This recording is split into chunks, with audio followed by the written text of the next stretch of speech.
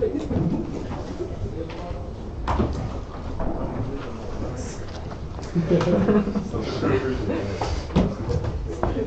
right, but first we're going to press on with chapter 12.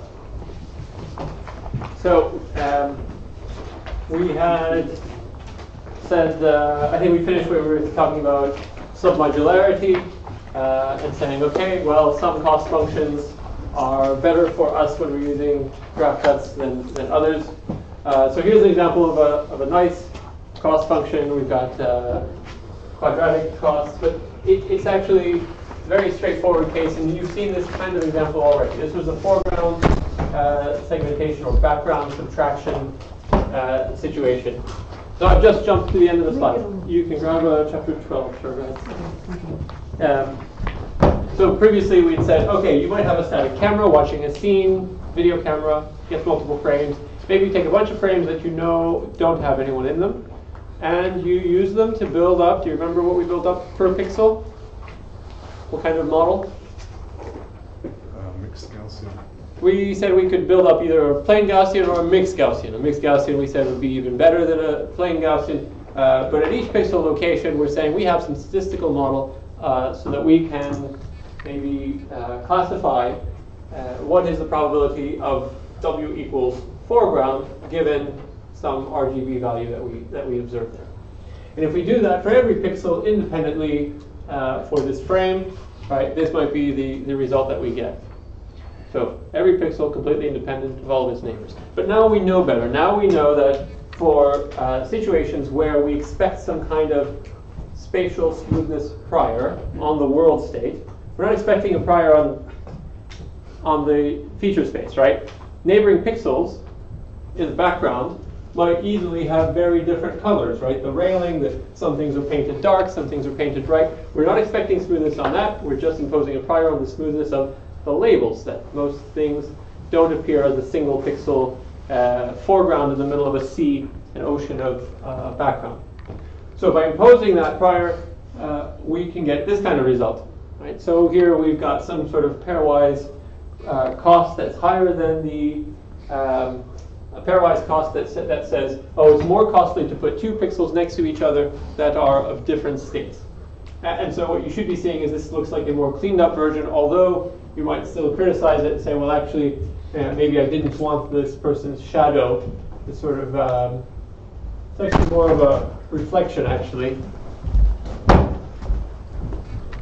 Right, right there on the ground, which is causing all of those pixels to have a very high unary cost, a unary affinity for being foreground, and of course, this this regularization, right, the graph cut isn't going to make that go away, but it will smooth it out so that we don't have lots of stray pixels anymore. All right. So in a very similar fashion, uh, we can do segmentation where maybe we don't have a background model.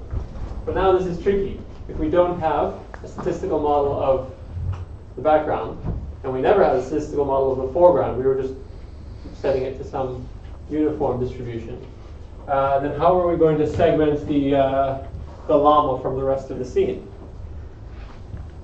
Well, if I told you, if I told you the uh, pixel model for foreground for the llama, if I said, oh, I'm going to train uh, somehow, I'm going to train this mixture of Gaussian's model for llamas, and here I'm going to give it to you, right? Well, then it would be easy for you to perform the segmentation.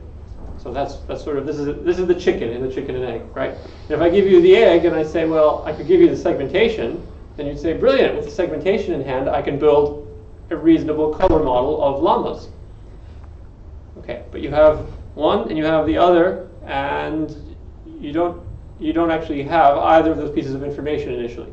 So there's no magic here. We have to get some information, and here the user is providing this information. The user draws a big bounding box around the llama uh, and says, outside of this box is definitely background. Okay. For now, let's just assume that inside is foreground. And so, with that initialization, it attempts to alternate between building a likelihood model for pixels being part of the llama, and then when it has that, it tries to do a segmentation. And when it does the segmentation and it finds a smooth boundary for the segmentation, it then goes back and refines its color model of the llama. So by going back and forth, iterating a few times, it's able to, to take that red initialization and turn it into this segmentation, which is great, fantastic, uh, and this, for that reason, this is now uh, actually built in apparently to the newest, well, I think even 2010 version of uh, PowerPoint. Right, so this was done at Microsoft Research um, in Cambridge, and the whole thing, when, when, when it came out, and so I know the author, so he, he wouldn't take it too personally. We said, really, they got a paper out of that? All they did was use graph cuts for segmentation. We knew you could do that. And they said, yes, but we put a nice interface on it, and look, you know, llama. and the company loved it. The, the, reviewers loved it. Got a big, you know, very, very famous paper now, very well cited, um, and is part of a product. Which, if you're in a research group doing computer vision, productizing is is uh, a, a, great way for, to, to ensure job security.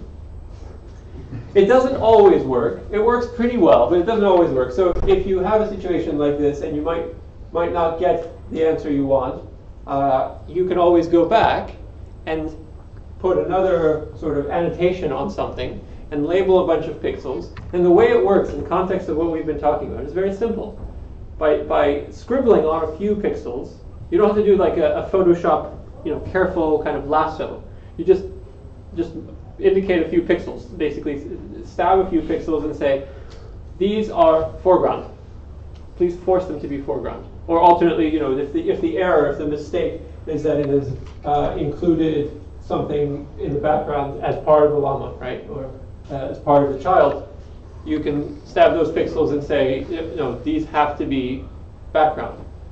Now, how do you imagine that that constraint that the user is telling the system could be imposed using our Markov random fields that we've learned about? How would you convert that user input that says this pixel should be foreground and get the graph cut to respect that. Yes? You put the, um, the pairwise costs of everything outside, or the crossing of that boundary, the pairwise cost is huge. So you're on the right track, but why did you choose the pairwise cost? I've stabbed uh, uh, five pixels. Right. okay? I mean, the, the answer should now be obvious. If, if it's not the pairwise cost, then it's the unary cost, right? So you, you, you crank up the unary cost for those pixels and say, I don't care what likelihood is coming out from my mixture of Gaussians calculation. The unary cost of making these pixels anything other than foreground, right, uh, is infinite. These are, these have got to go with foreground.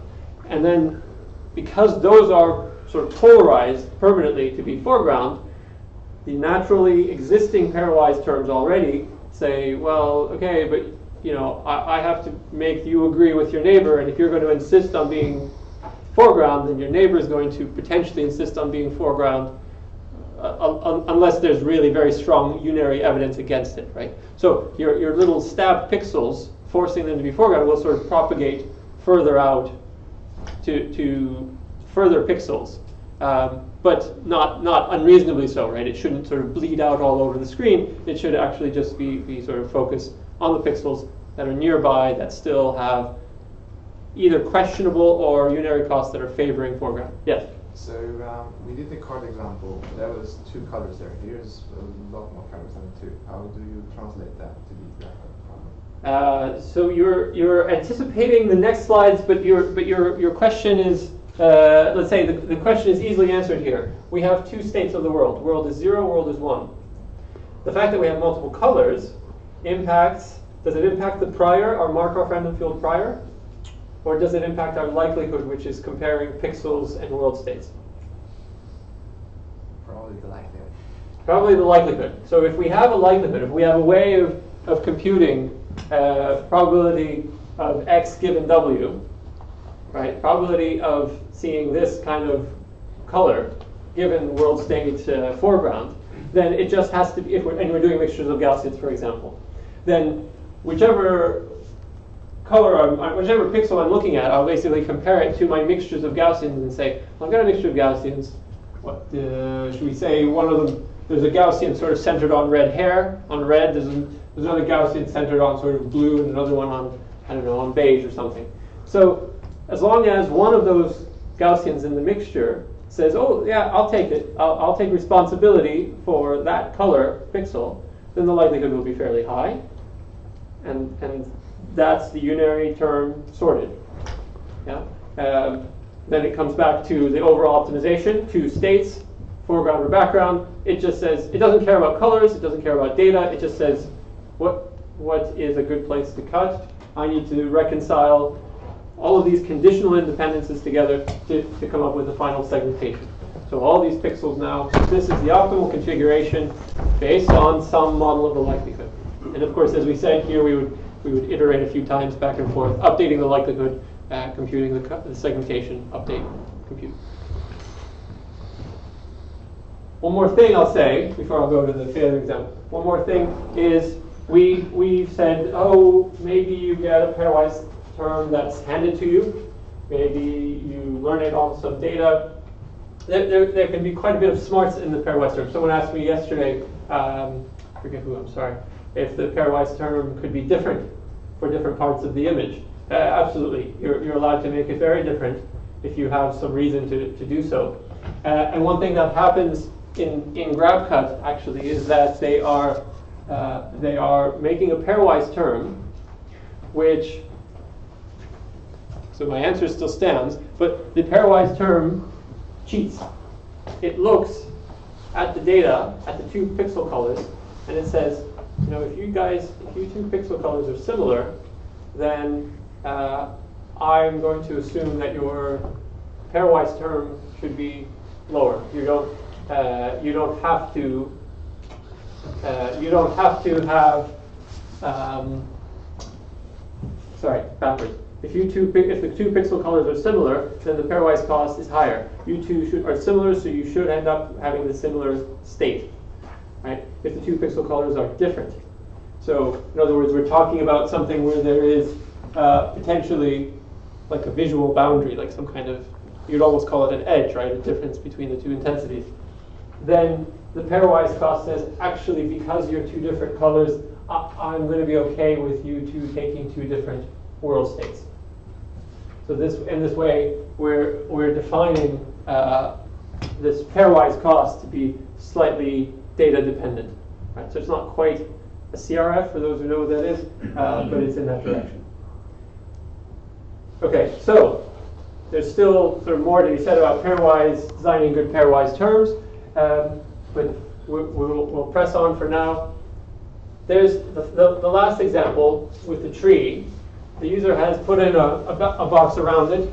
Um, it hasn't really worked out super well. Based on what you've seen yesterday in particular, um, what do you think is the problem? The algorithm ran correctly, but this is the result. Three isn't really smooth itself. It's not smooth. So we're, we're trying to apply the smoothness prior on something that's not particularly smooth. Um, so it is enforcing so that neighboring pixels will have the same world state. That, that part worked. but the idea of switching from tree to not tree to tree to not tree over and over again, right, in this very intricate pattern, is very much against the philosophy of, of our prior, right? And so it doesn't it doesn't work out very well here. So this type of thing is actually a real problem for graph cuts. And the other thing that, that uh, the other failure that you'll see if you use the, the graph cut implementation or, or anything sort of similar to it, uh, you can have problems with protruding objects. Because if you have a thin structure, a thin object, often in your image somewhere, then it'll be a very similar situation to this. It will see that, oh, okay, uh, either, let's say this is a, is that a vacuum cleaner? This is sort of, so let's, let's trace out this, uh, this vacuum cleaner, there's roughly, that's the uh, shape of a child. Okay, Um, so that's, that's what's left. The, the, the graph cut is going to come along and say, okay, I need to segment, I need to, to compute a total cost, right? Uh, which is going to be optimal, as low as possible. Uh, and for all of these pixels, maybe there's really not a lot to be said, uh, right? These pixels have a strong unary cost, they, they like being foreground and so on. Uh, same thing goes here uh, and here. And then here it says, okay, remember, because it's looking at all the variables at the same time, right? That's the point of this graph cut. And here it says, well, now I could make, I could pay all of these boundary costs where one pixel, the inside one would be W1, the outside one would be W0, so I just pay all these boundary costs. Or I could just cut it off right there, right? Uh, sort of, sort of uh, amputate whatever is left there, and pay. Okay, so I, I maybe upset a few local pixels where the unary cost was quite high. They were saying, look, I'm part of the vacuum cleaner, and the pairwise terms said, yeah, that's fine, but look at all this cost savings, right? And so these these types of uh, thin structures are very hard for graph cuts to capture, and so. Um, one of the uh, one of the previous one of the master's student in, in the CGI course uh, went on to do her PhD, and one of her papers was uh, one of her papers here was how to try to deal with these thin structures with a little bit extra user user input. Okay, now we're not going to spend the whole time talking about applications, um, but we will think about the stereo one. We said last week when we did dynamic programming, we said, oh, you do every pixel independently, you get a very noisy stereo reconstruction, right? Remember this problem? We'll have not this one, but you actually have two images similar to, you know, one this and the other one is similar to it, and you try to compute. What were we doing? Remember, not actually depth, but disparity. We were saying, okay, how how much has the pixel moved horizontally? Um, so if we have a bunch of discrete disparities, right, and we treat each pixel as part of a line, then we were able to do dynamic programming. But we said, oh, maybe we can do better if we can deal with grids. So indeed, we want to be able to deal with grids, except what's the problem now? From what I've shown you so far, when we can have world state w equals 0 and world state w equals 1, how do we do disparity? So you see, what's that? N world states? We have to have multiple world states. We have to have this, this categorical distribution over world states. Because uh, just two isn't going to cut it. We'd only have sort of, again, maybe near and far, or big disparity and little disparity. And that's not enough if we have this, these complicated scenes. So we have to jump back in the slides now. This is where we, we go back in your notes to introduce the idea of multi-label MRFs. All right, and this is still the exact solution. So we, we are dealing with a cost function which is well behaved. Uh, so it's um, maybe a quadratic cost function. And just like we had said previously for dynamic programming, where we said, okay, uh, you know, imagine a graphical model. Uh, we had said there's a chain right? And we said, okay, expand that individual node to be this big version of the node, and we called them, I was calling them bubbles or individual states, right? So we were saying, okay, this is W1 equals 1, this is W1 equals 2, this is W1 equals 3 or 4, right? So the same concept is happening here. The exact same, you should be picturing this just like we did for the dynamic programming. We sort of unwound a single random variable into a collection of nodes here, right, vertices in this graph. So we're going to we're going to be using graph cuts here, the same one we've been using all week. It's great. The only thing is that we have to connect these these nodes in a very particular way. In dynamic programming, we didn't really worry about flow of water or anything like that. So these little nodes were all independent of each other and Uh, we didn't have to worry. Now we're saying, okay, for we have two. This is a two pixel setup, right? So this is pixel A. This is pixel B. Pixel A could take value A1 or A2 or A3 or A4. Uh, A5 is actually uh, fake. We don't we don't allow an A5, but we have to have this node here nonetheless because just like we've been doing, we have to attach a source of the flow of the water going into each A1 or B1 or if we had C and D, etc. And we have to have at the bottom, there's an arrow pointing down, another one pointing down. At the bottom of all of them, the last flow goes into the sink. Now, interestingly, we said, well, there's a unary cost associated with each choice, right? With A1, with A2, with A3. So the unary cost for uh, pixel, pixel A being uh, set to W equals 1 is UA1. That is the cost that we put on this downward pointing arrow.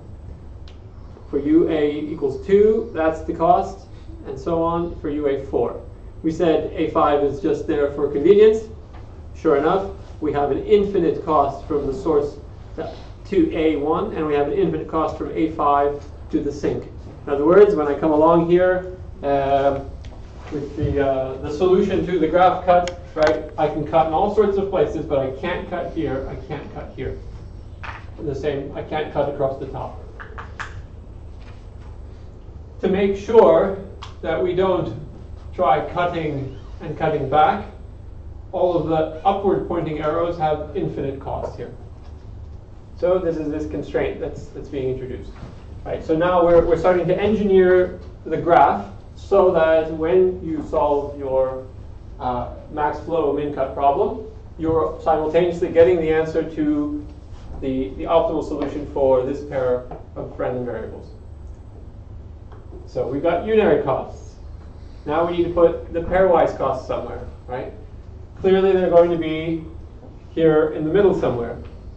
So let's just show the, uh, the degenerate case, right? If you did if you didn't have these infinite cost back arrows, you'd be able to sort of cut off a node, uh, and then you wouldn't be able to, to say what state is B in, right?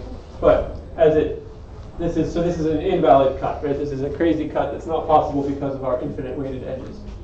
But in general, the same procedure applies because this cut cuts through UA4. That means we're saying A gets state 4 out of the possible discrete labels that are, that are available.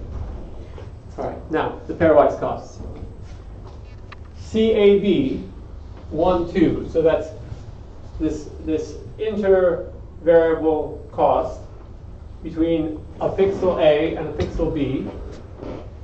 That's and the 1 and 2 are indicating that A would get a 1 and B would get a 2, right? That's why those are the arguments there.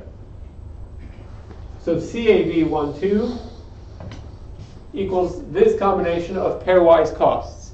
It says, look at the pairwise costs between A and B, and whatever your I is, you're going to use that repeatedly, except it might be I, I plus 1, I minus 1, and whatever the second argument J is, you're going to use that here as well, J minus 1 or J.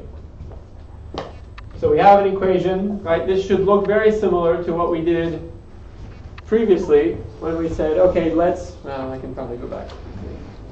When we said this, right? We said, ah, right?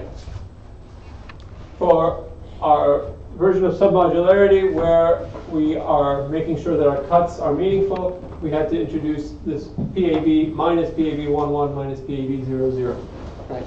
So that is the same thing happening here, but now for the multi-label multi-label case.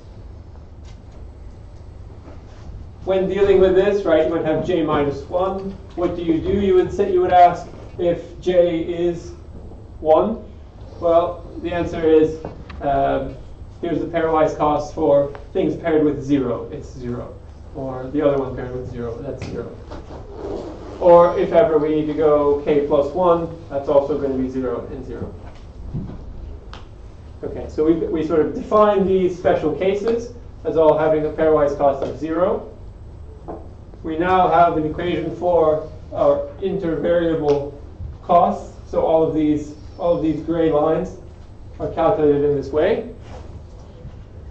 And so now, when the graph cut gives you a cut, a solution, you can now interpret that.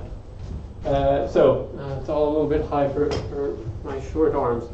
Um, a cut that comes in like this with the dotted line, right? Because it's cutting unary cost A1, then that's already telling us that the final solution here is saying, yeah, pixel A is in state 1.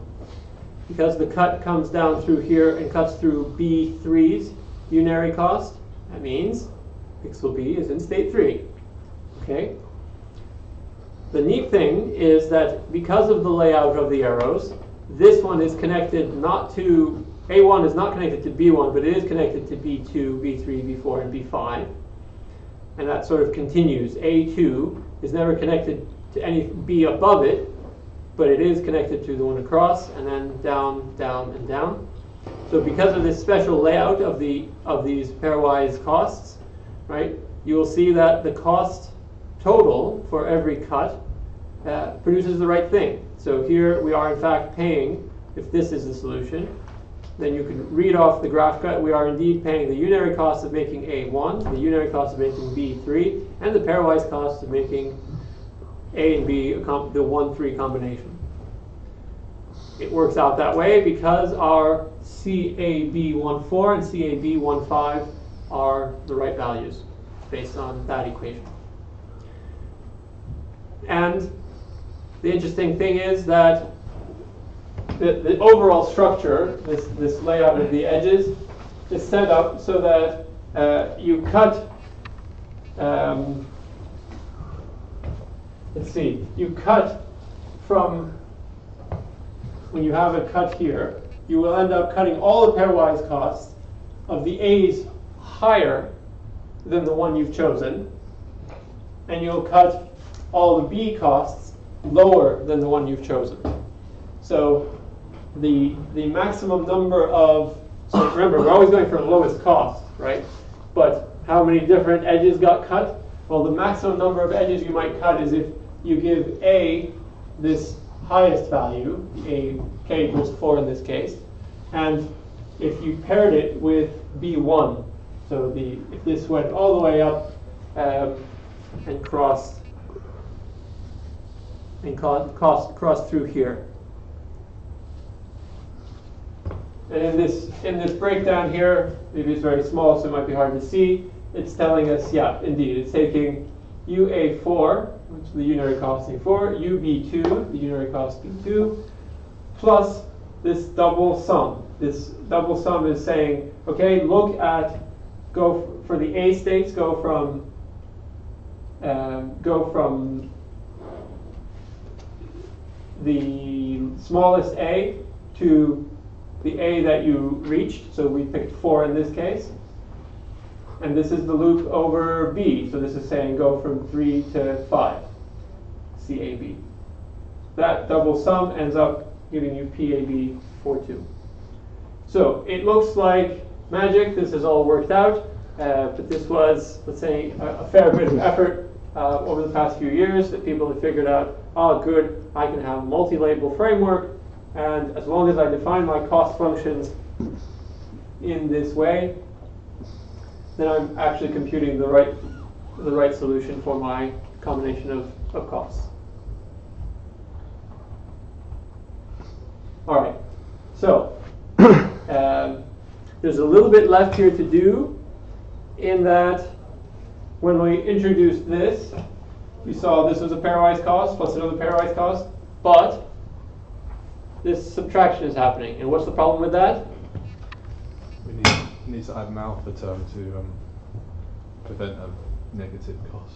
Exactly. We, have, we we are in danger of having negative costs, so we need to add, we need to do a, a, a parameterization. Uh, this is just a proof of what I was saying a moment ago. So to introduce the alphas, what we do is we transfer over some of the CAB costs, the more expensive ones, onto the unary costs. This is the alpha that we had in the in the two-state case, right? So we just add these alphas onto all these unary costs, we add these alphas onto these unary costs, and we can go about our business as before with the same same equations for all of our C our C costs in the middle. The only thing that's happened here that's quite interesting is uh, we've actually, because of this reparameterization, we don't need CAB 1, 2, and I think we've also gotten rid of CAB 4, 5, right? There's no 4, 5 needed anymore because CAB uh, 4, 5 is basically wrapped up in here. So it's a slightly simpler graph now after the reparameterization, which is sort of a, a, a nice side effect. So now we know, as long as our cost function was convex, that we can deal with multiple discrete labels. All right. Now, uh, we've already seen the submodularity slides where we were saying, okay, the CAB has to stay positive. For it to stay positive, that the what, it, what CAB equals, right, these four terms have to in total be greater than zero. We said that that corresponds for any four labels, um, alpha, beta, uh, gamma, and delta. We needed to sort of have this kind of shape. This is the, the visualization in 2D. Yes? Um, this class, class or this multi-label thing, so would you do that, for example, if you have a grayscale image, could, could you extend that to 256 labels, or would it get too complex? You can have 256 labels. You can have quite a few labels. So there are some implementations uh, that we use in our own experiments. Um, and we've pushed it as far as 500 or 1,000 labels, and it, it's okay. Let's say it doesn't, we, we, we haven't run out of memory, right? But then, of course, the size of the problem might, might uh, eventually impact you. If you have, the more labels you have, the more nodes you have. The more nodes, the more edges, the more edge costs you have to end up summing up. For example, RGB values of 2 to power 25, uh, 24. Well, right. So if you go into if you go into the thousands or millions, uh, yeah, you're, you're I think you're going to eventually be taxing any any existing computer.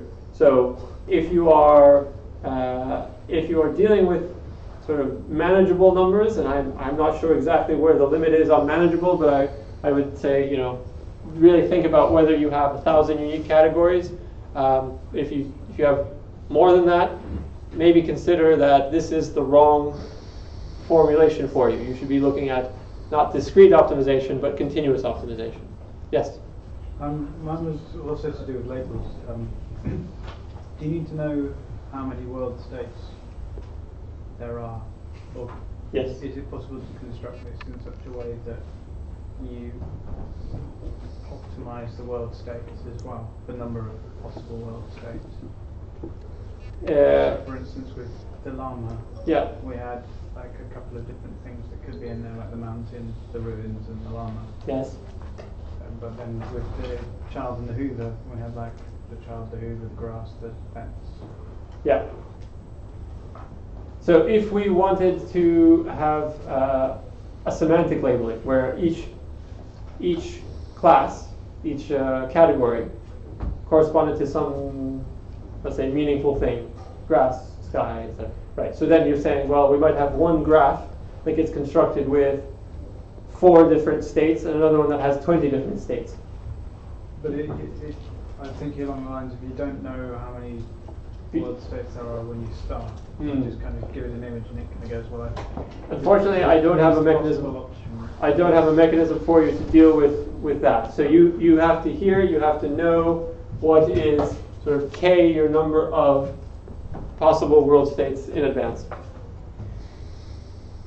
Maybe uh, it doesn't soften the blow very much, but it might help that you could have different, but you have to know them, you could have different numbers of world states at different nodes. So you might have a has a choice of three categories and B has a choice of 25 categories for whatever reason, right? These are random variables that we're talking about, so maybe they represent slightly different things. Uh, so you can do that, but you still have to know the, the K for each one. Yes? Um, A1 and B1 is never connected in the graphs, that's just the visualization. A1, B1 is never connected, well, it's connected to the source, uh, and there is a unary cost hanging from it. I mean the P, P pairwise cost of them, because there is a PABIJ cost there always. Yeah, so the cost, so I, th- do we have that in this, in this visualized example? Uh, no, not really. So the cost between A1 and B2 will have to be cut if, uh, if we did A1, if the solution was A1, B1. And that cost will include the pairwise cost A1, B1. Okay, so I and J does never go from one to, they never start from one to one in the, in when you're summing up the C costs. Uh, it starts here. You have i from from one to the maximum that a reached. So it, it could be that this outer sum is just for i equals one. But B, but J can never be one. Uh, j can be one. So Both of them can be one. So what's the cost of I and J equals one? You're going to have cab one one. Which would be the pairwise cost of A, A one, B one, which is there. CAB 1, 1. This is a good question. Let's see.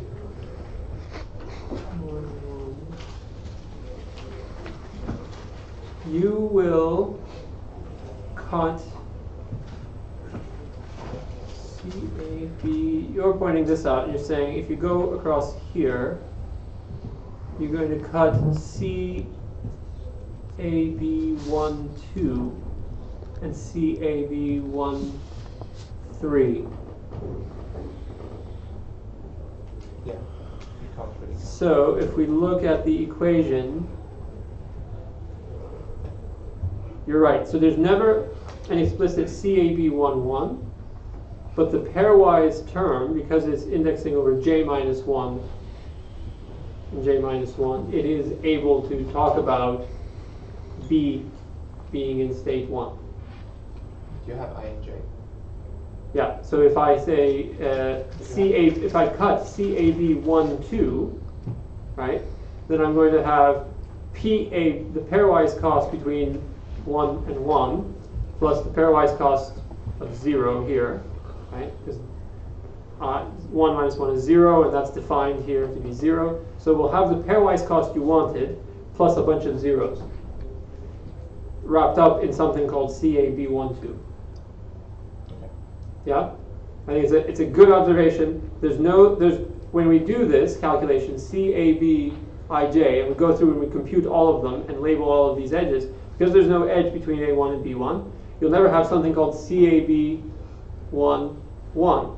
However, in order to cut horizontally through there and to cut come out through this edge over here, we will have to cut one, two, three, four CABs.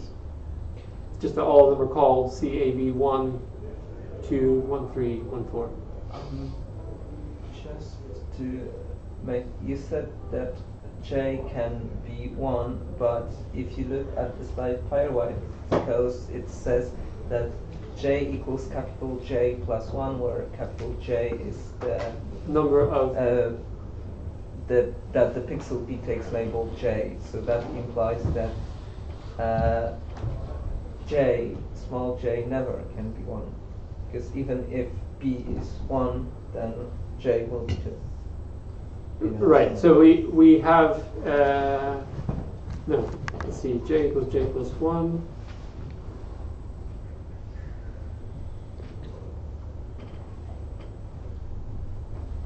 j plus 1. Should this be j plus 1? Should it be, you're questioning whether this should be j equals j plus 1 or if it should just be j. I think it should be J plus 1 because we want to get rid of the, the we want to get submolarity, submodularity. That's that's why we're doing that, right? Uh, well, our submodularity, uh, our submodularity is based on our cost function. So what we're seeing here is that if this index is from j equals j plus 1 to k plus 1, then choosing j equals 1, which is the case you're asking for, a1, b1, right? Uh, would mean that we would have here a 2 all the way up to 2.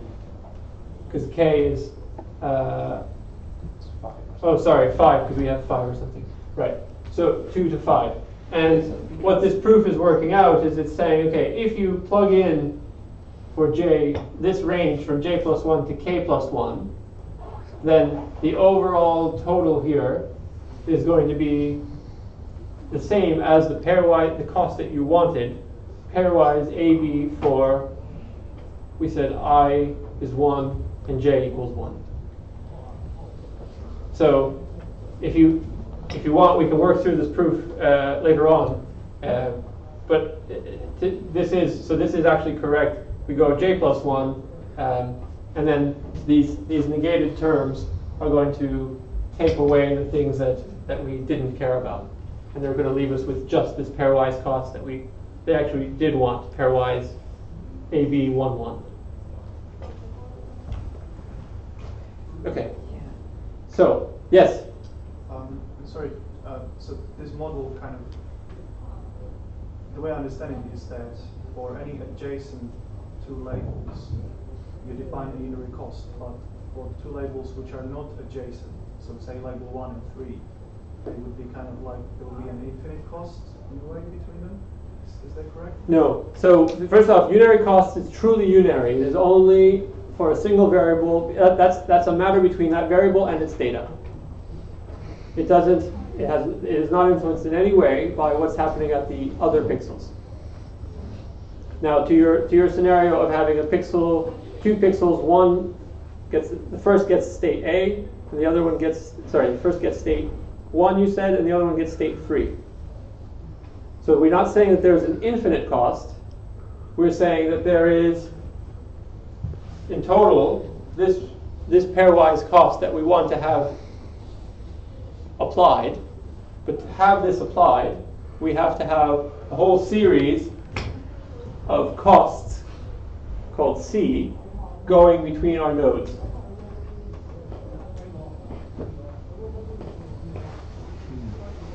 Is that uh, that seems unclear? But I, I, think I might have to come back to you after after class because I'm I'm worried now that we're going to, to try to spill over into next week, which just can't happen.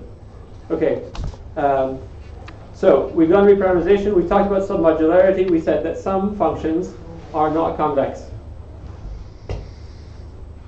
Is it all over? Does that mean when, when we want to use a truncated quad, quadratic or the Potts model that we now can't use any of the things we've learned? And it turns out that, well, there's one more trick left, and that's alpha expansion. So we're, we're going to, to use this alpha expansion thing in situations where we have a non-convex, non-submodular cost function, one where, let's talk about disparity, right? That's what motivated us to come back to these slides. We said, uh, yeah, let's say two pixels neighboring each other. Uh, if they're the same disparity, we want to give them zero cost. If they're sort of an intermediate uh, disparity, we want to give them a bigger cost. But if there's really, really big disparity difference, well, they've already been punished enough, right? So don't, don't keep going uh, just level, give it a flat cost. So we said that visually, if, if we don't have, uh, if we use only the quadratic function, we get these sort of smooth boundaries. But what if we want sharp boundaries? So now we're going to do, we're going to deal with that case, but I can no longer guarantee that it will be the exact solution.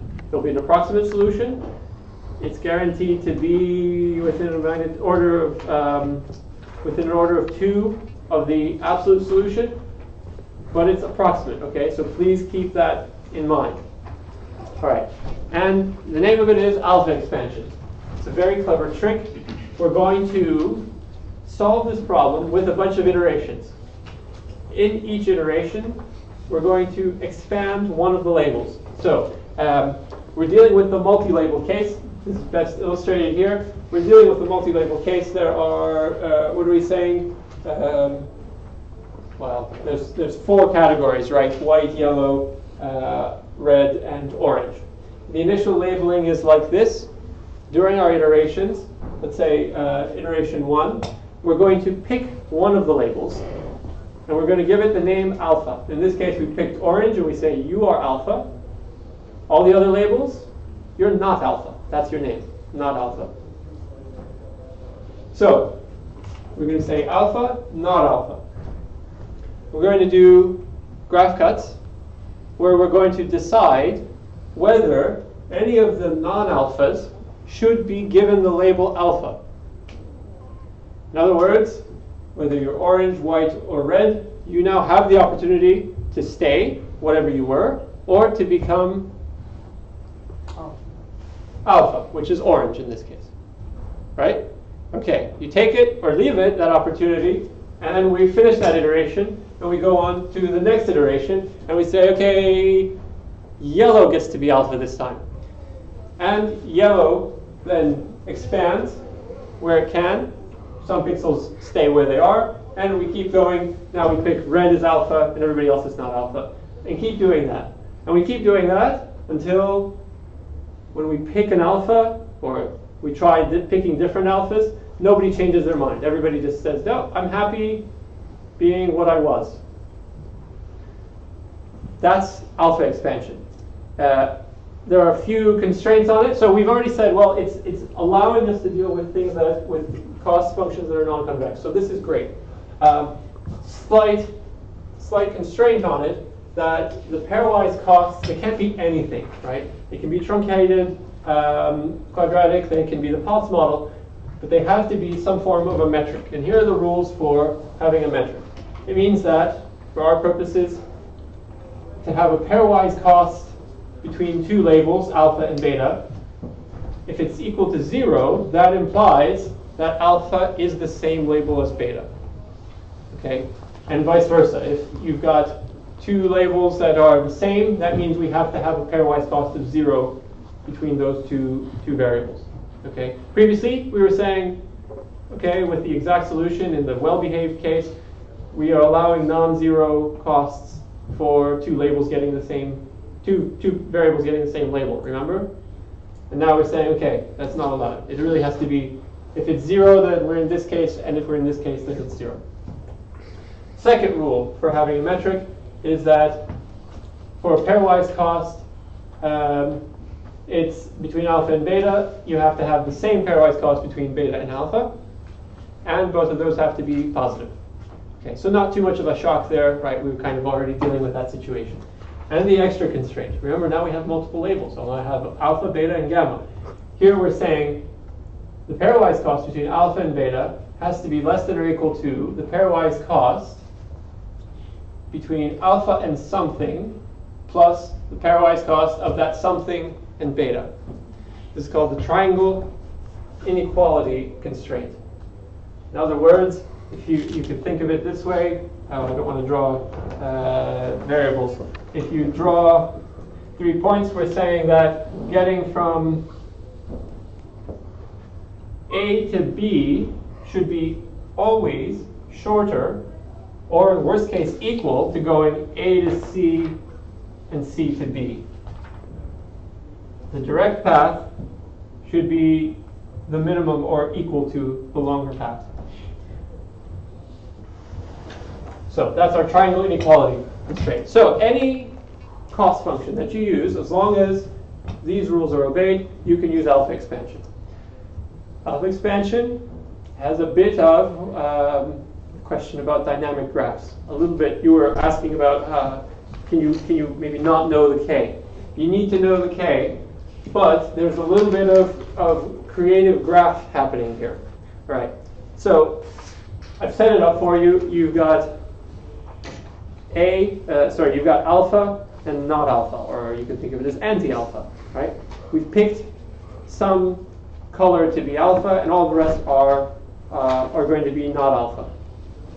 Now, all the rest might be beta or gamma or other things. So let's go through because there are four cases um, that we have to worry about. All right. The first case, you've got two nodes both of them are already alpha. You draw them in this kind of graph without any edges between them. Why? Because they're both alpha. And we just said for this to be a metric, right, pairwise cost between alpha and alpha is zero, right? So no pairwise cost between them, that's simple. Next, we might have a situation where, uh, so these are just A, B, C, D, these are a bunch of pixels, right? Uh, one, two, three, four, five pixels. We'll get to K in a moment. So between the second and the third pixel, what if this is our, our state, our initial state? So that one's alpha, that one's beta. Well, now we need a pairwise cost. So we make, we make an edge between them, and the pairwise cost, P, BC, between pixel B and pixel C, takes alpha and beta because it has to be prepared for the situation that alpha and beta have some non-zero cost function between them. Okay, so far so good, right? Nothing, nothing too shocking. All right, uh, so just to keep track down here at the bottom, the adjacent pixels are alpha and beta. So the result after we do this optimization, well, this one was alpha. So after alpha expansion, which only expands, it will still be alpha. But after alpha expansion, this thing that was beta could either still be beta, which is why we introduced the edge, or it might become alpha. If it becomes alpha, then there's no pairwise cost here. Okay, so those are the two possible outcomes of this case, case two. We're going to just keep going. Now we're looking at pixels C and D. C and D started off as beta and beta. So the possible outcomes after optimizing beta and beta, right?